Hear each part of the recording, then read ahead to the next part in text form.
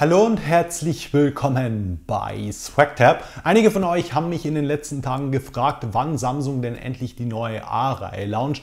Galaxy A52, Galaxy A72, da gibt es ja schon allerlei Gerüchte und allzu lange sollte es nicht mehr dauern. Was viele aber überhaupt nicht mitbekommen haben, ist, dass Samsung still und heimlich schon ein paar der Geräte der 2021er A-Reihe gelauncht hat. Allen voran das Galaxy A42 5G. Das habe ich jetzt schon ein paar Wochen auf dem Schirm, aber die UVP von 369 60 Euro hat mich abgeschreckt. Da konnte ich mir den Test auch sparen, denn für den Preis ist es einfach viel zu schlecht ausgestattet. Nun, wie sagt man so schön, der Markt regelt das. Mittlerweile bekommt ihr das Galaxy A42 nämlich schon für um die 250 Euro und dann wird es doch wieder interessant, denn es unterstützt bereits 5G, hat jetzt endlich auch einen vernünftigen Prozessor, natürlich wieder ein AMOLED-Display und einen 5000 mAh starken Akku. Heute wollen wir es erstmal zusammen auspacken und schauen, wie mein erster Eindruck ausfällt. Vorher geht aber erstmal noch ein großes Dankeschön an notebooksbilliger.de die haben mir das Galaxy A42 nämlich für ein paar Tage zum Testen zur Verfügung gestellt. Link findet ihr wie immer unten in der Videobeschreibung. Also, ich wünsche euch jetzt viel Spaß beim Zuschauen. Los geht's!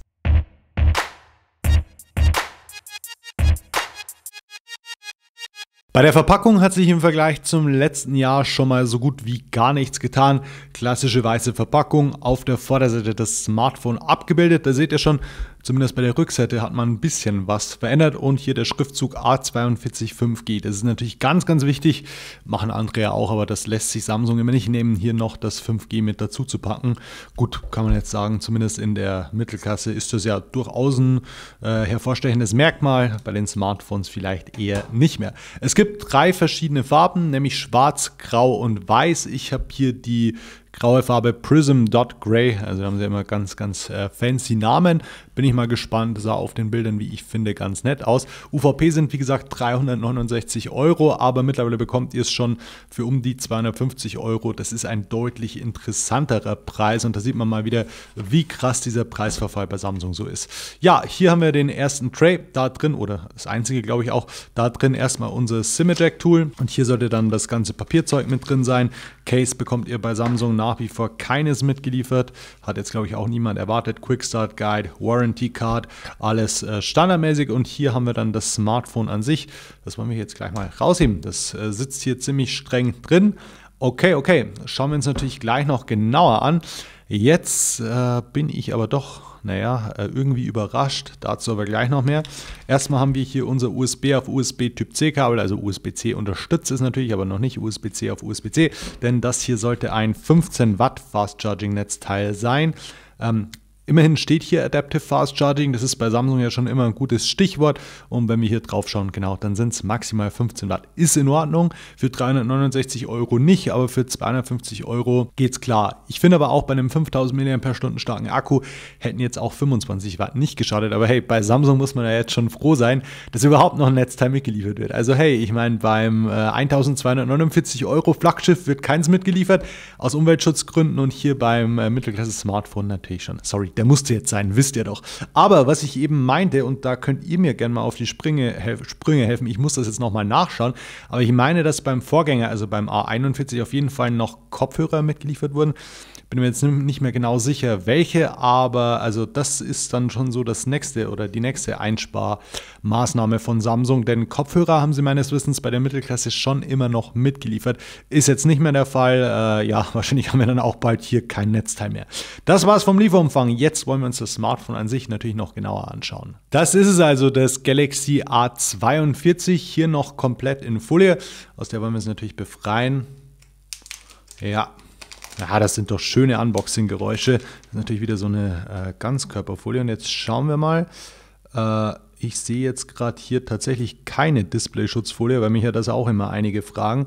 Nö, äh, das Einzige, was mir auffällt, um den Rahmen haben wir wieder so diverse kleine ähm, Abklebungen und dann hier auf der Rückseite nochmal diesen, diesen E-Mail-Sticker. Wie gesagt, das hier ist jetzt auch die Retail-Version, also genau das dürft ihr auch erwarten, wenn ihr euch das Smartphone kauft.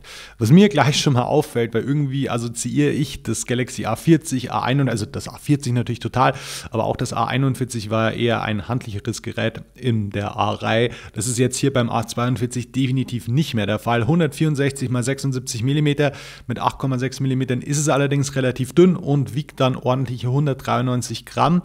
wohingegen ich dann wieder sagen muss, okay, für einen 5000 mAh starken Akku geht das wieder klar. Ich gebe euch hier jetzt mal den Größenvergleich mit dem Redmi Note 9T, habe ich ja auch vor kurzem ausgepackt. Äh, ähnlich großes Display, ähnlich großer Akku. Generell macht da aber das Samsung Smartphone auf jeden Fall den filigraneren Eindruck. Rückseite gefällt mir vom Material hier besser, vom Design hier besser. Da kommen wir aber gleich nochmal zu. Da bin ich aber positiv überrascht, muss ich jetzt ganz ehrlich sagen. Es liegt aber relativ gut in der Hand. Wir haben hier ein 6,6 Zoll großes Super AMOLED-Display und jetzt kommt eigentlich der einzige Wermutstropfen. Das löst nämlich tatsächlich nur mit 1600 x 720 auf. Das macht dann 266 ppi und das ist halt schon echt grenzwertig. Also für 369 Euro ist das ein Witz. Das war auch der Hauptgrund, wieso ich das damals überhaupt nicht testen wollte. Jetzt für 250 Euro kann man drüber diskutieren. Also ich hoffe, dass der Preis hier noch weiter sinkt, weil ihr werdet gleich hören, die restliche Hardware ist durchaus ganz ordentlich, vor allem der Prozessor und so weiter aber die Displayauflösung, also da muss man schon nichts Hohes gewöhnt sein, dann wird einen das nicht stören, aber wie gesagt, 266 ppi, also da kann man sich auf jeden Fall drauf einstellen, Pixel zu sehen. Ganz interessant dann, wir haben hier eine Teardrop-Notch, also kein Punch-Hole, war ja beim Vorgänger auch schon so. Da drin sitzt eine 20 Megapixel Frontkamera, niedrigere Auflösung als beim Vorgänger, aber hoffentlich bessere Bildqualität. Auflösung hat da jetzt ja nicht unbedingt so viel über die letztendliche Bildqualität dann zu sagen. Wir haben einen In-Display-Fingerabdrucksensor, der ist optisch kein kein Ultraschallbasierte. Da bin ich gespannt. Äh, der des Vorgängers war auf jeden Fall auch verbesserungswürdig. Und die Displayränder, naja, ihr seht es ja selbst, also an drei von vier Seiten wirklich in Ordnung. Das Kinn hingegen ist schon noch ziemlich dick. Also da erwarte ich im Jahr 2021 auch wieder für 369 Euro UVP auf jeden Fall mehr. Kommen wir zum Rahmen, der besteht aus Kunststoff und zwar in Hochglanzoptik, ist so auf den ersten Blick genau das gleiche, was wir auch schon vom Vorgänger kennen. Wir haben links den Einschub für, ich, also muss ich jetzt mal nachprüfen, ob das wieder so ein, entweder ist es ein Hybrid-Slot oder tatsächlich einer, der zwei Nano-SIM-Karten und eine MicroSD unterstützt, aber auf jeden Fall kann der 128 GB große interne Speicher erweitert werden. Ich meine, beim Vorgänger waren das ja noch 64 GB, also das geht auf jeden Fall in die richtige Richtung. Auf der Unterseite 3,5 mm Klinkenanschluss, Anschluss, USB-C 2.0 Port, ein erstes Mikrofon und der Monolautsprecher. Mal schauen, wie der so klingt. Da gab es ja beim Vorgänger auch noch Luft nach oben. Rechts dann der Powerbutton und die lauter leise Wippe, die aber beide wirklich gut verarbeitet wirken. Das war bei der A-Reihe letztes Jahr nicht immer so, deshalb erwähne ich das jetzt. Und auf der Oberseite haben wir dann nur noch ein weiteres Mikrofon. Und damit sind wir jetzt auch schon bei der Rückseite angelangt. Und da sage ich gleich schon mal, gewöhnt euch an das Design, also vor allem auch hier an das Kameralayout. Aber ich glaube auch dieses es ist, also ihr seht es schon, das sind hier im Prinzip vier verschiedene Sich äh, Schichten. Ich hoffe, das kommt einigermaßen rüber. Hier mit so einer leichten reflektierenden Struktur, wo wir wieder dieses typische ja, äh, ich sage immer LSD-Muster haben, das wir kennen aus der, aus der A-Reihe. Und dann hier oben ist es, wie gesagt, so ein ganz normales Grau. Ich muss aber ganz ehrlich sagen, also diese, diese diese Farbe gefällt mir richtig, richtig gut. Äh, Grau gibt es ja jetzt schon öfter. Mir hat das Grau, was Samsung da letztes Jahr hatte, überhaupt nicht gefallen. Aber das jetzt, vor allem im Zusammenspiel äh, mit diesem Muster da unten, es sieht schick aus. Also das hat was. Bin ich jetzt positiv überrascht. Ja, das Kameralayout muss ich euch nicht sagen, an was das erinnert. Das gefällt mir dann bei der Galaxy S21-Reihe deutlich besser. Ist aber natürlich klar, dass man das dann bei der Mittelklasse-Reihe nicht unbedingt erwarten kann. Wir haben hier äh, eine Quad-Kamera, also einen Sensor mehr als beim Vorgänger. 48 Megapixel Hauptkamera. Ich hoffe wirklich, dass das ein neuer Sensor ist im Vergleich zum letzten Jahr. 8 Megapixel Weitwinkelkamera und dann noch zwei 5 Megapixel Linsen. Einmal eine Makrokamera, einmal eine Kamera für Tiefenschärfe-Infos. Ich wage zu prophezeien, dass man die wahrscheinlich beide nicht äh, wirklich gebrauchen wird oder gebrauchen kann. Na, mal abwarten. Muss ich ausprobieren, aber ich hoffe, dass die hier die Hauptkamera ein bisschen verbessert haben, weil da gab es beim Vorgänger schon echt Luft nach oben. Akku, wie gesagt, 5000 mAh. Das ist wirklich ordentlich. Das ist ein deutliches Upgrade im Vergleich Vergleich zum Vorgänger, auch generell für die A-Reihe, also auch im Vergleich zu einem A51 zum Beispiel oder A71. Also das äh, lässt auf jeden Fall hoffen. Und äh, jetzt würde ich sagen, schalten wir das Smartphone ein und ich gebe euch dann gleich mal noch die restlichen technischen Daten durch.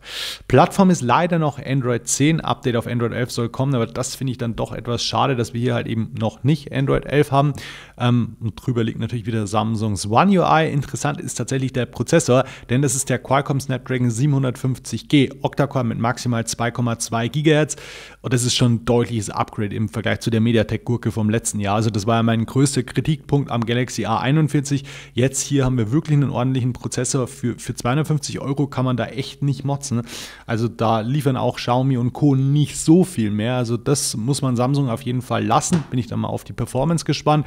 Dazu gibt es leider nur 4 GB RAM. Also da hätte ich dann wieder gern 6 GB RAM gesehen. Ich glaube, das wird den Prozessor dann auf lange Sicht so ein bisschen einbremsen, aber mal ausprobieren. Und wie gesagt, äh, 5G wird natürlich auch schon unterstützt, ist für den Preis doch auch ziemlich ordentlich. Wäre letztes Jahr bei Samsung in der Preisklasse auf jeden Fall noch nicht anzudenken gewesen. Also wie gesagt, äh, ich äh, vergleiche das jetzt bewusst nicht die ganze Zeit mit Xiaomi und Co., weil der Maßstab sind hier natürlich andere Samsung-Smartphones und dafür ist die Ausstattung hier für den Preis doch schon ganz in Ordnung, finde ich. Ja, erster Eindruck ist auf jeden Fall, dass es ein ungewohnt großes Smartphone ist für eins der A40er-Reihe, sage ich jetzt mal.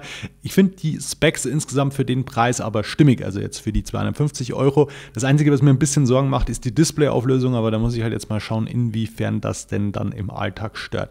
Ja, lasst mich gerne wissen, was euch zu dem Smartphone hier interessieren würde, auch irgendwelche Vergleiche oder so. Ich denke mal, ihr wollt auf jeden Fall ein Review sehen, oder? Lasst mich das auch gerne unten in den Kommentaren wissen, auf was ich da eingehen soll, auf was nicht. Ich hoffe, das Video hat euch gefallen. Ich sage wie immer vielen Dank fürs Zuschauen und bis zum nächsten Mal. Macht's gut. Ciao.